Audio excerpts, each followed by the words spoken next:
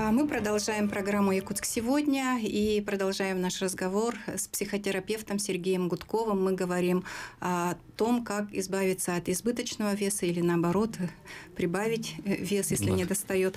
А, Сергей Владимирович. А, да, и мы говорили про детей, про родительский пример. То есть бывает парадоксальная ситуация, и ко мне иногда приводят э, детей – Хотя я с детьми не работаю, важно работать со всей семьей, если у ребенка есть проблемы с пищевым поведением.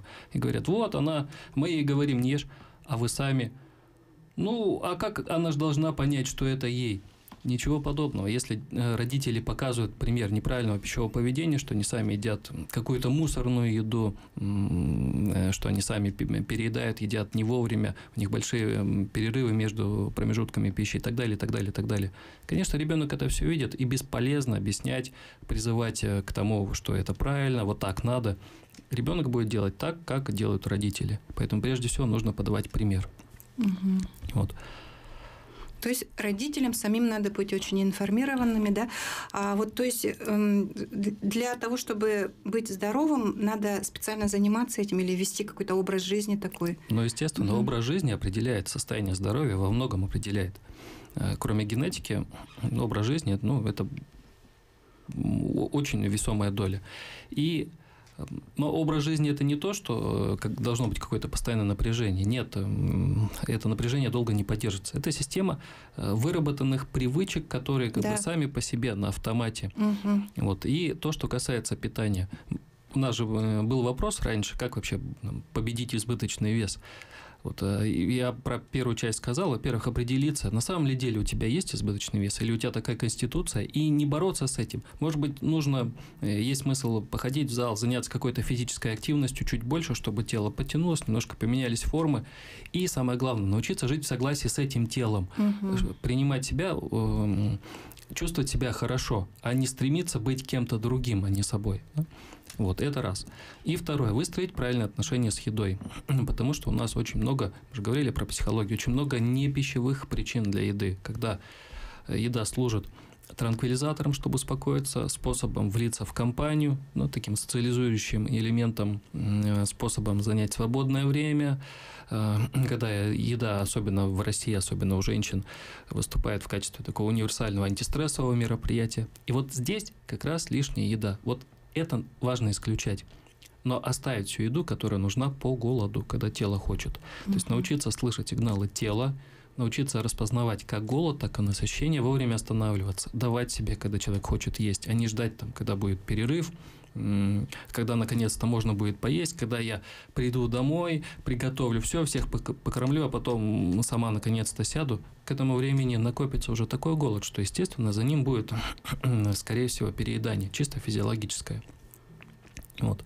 Выстроить нормальные отношения с едой. И то, что нужно телу давать вовремя, ну, желательно то, что вот хочется, да, а не то, что кажется правильным. Ну, я имею в виду то, что хочется по телесным сигналам. И разобраться с остальными причинами. Почему ты считаешь, что, например, если заболел, тебе нужно есть, когда тело отвергает еду? Это может быть такая установка из детства неправильная. А почему ты считаешь, что если ты откажешься, все там поумирают, когда не хочешь есть? Никто не умрет, со всеми все будет в порядке значит, важно научиться говорить нет, значит, важно научиться отстаивать какие-то свои желания, нежелания и при этом поддерживать связи.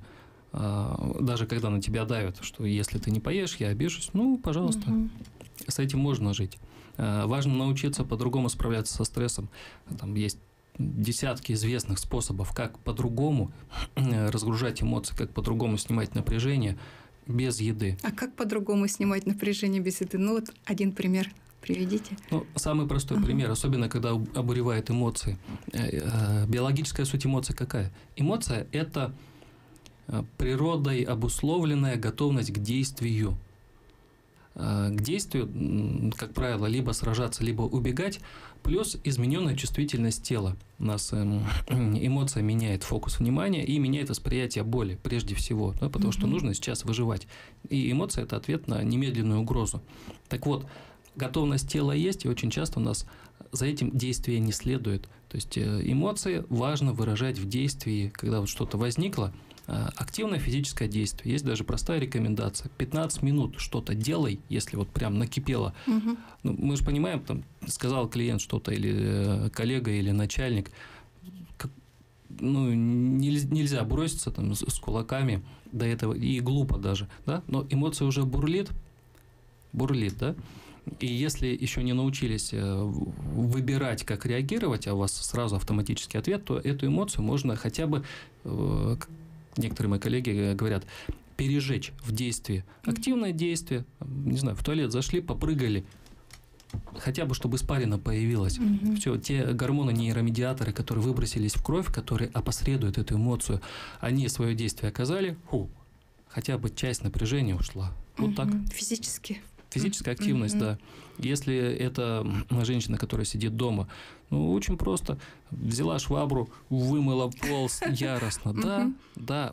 И тогда интенсивность этого переживания уходит. уходит. А вот если действия нет, тело готово, напряжение мышц, вот, вот оно готово прорваться в какое-то действие, да еще мысли крутятся. Вот тогда начинается, а что же с этим делать, а как мне быть? Оп, и к холодильнику. Человек не успел ничего понять. Есть же негативные трансы. Уже съела три порции, да, а что это было, не успела понять, да, да. Вот а так. вот э, вы сейчас сказали, ну, употребили выражение правильное питание. А вот сейчас прямо такой волна идет э, тоже реклама большая, да, а общественное мнение вот формируется такое, что надо правильно питаться, уже есть такая аббревиатура ПП. ПП, да, да. И уже есть новый пищевой невроз, называется орторексия. Это чрезмерная приверженность правильному питанию, избыточная озабоченность эм, э, составом продуктов, э, калорийностью, расписанием и так далее. Ну, правильное питание, если брать в широком смысле слова, правильное питание для каждого человека, оно правильно по-своему. То есть у нас есть свои ритмы, э, у нас есть эм, ну, средний срок, когда примерно в течение 3-4 часов проходит пищеварительный цикл от голода и поступления пищи до следующей волны голода. Угу. Но это зависит от множества факторов, от конституции, опять же, от того, какую пищу ел до этого человек. То есть есть сытная пища, которая дает долго насыщение, есть пища, которая приносит много энергии, вот мусорная еда, и никакого насыщения не оставляет. Состав микрофлоры, это состояние здоровья. То есть очень важно, вот правильное питание – это то питание, которое учитывает конкретные потребности вот здесь, сейчас. И тело подает сигналы. То есть угу. важ, важно уметь их слышать. Они, ну так, для наших слушателей, для зрителей я скажу,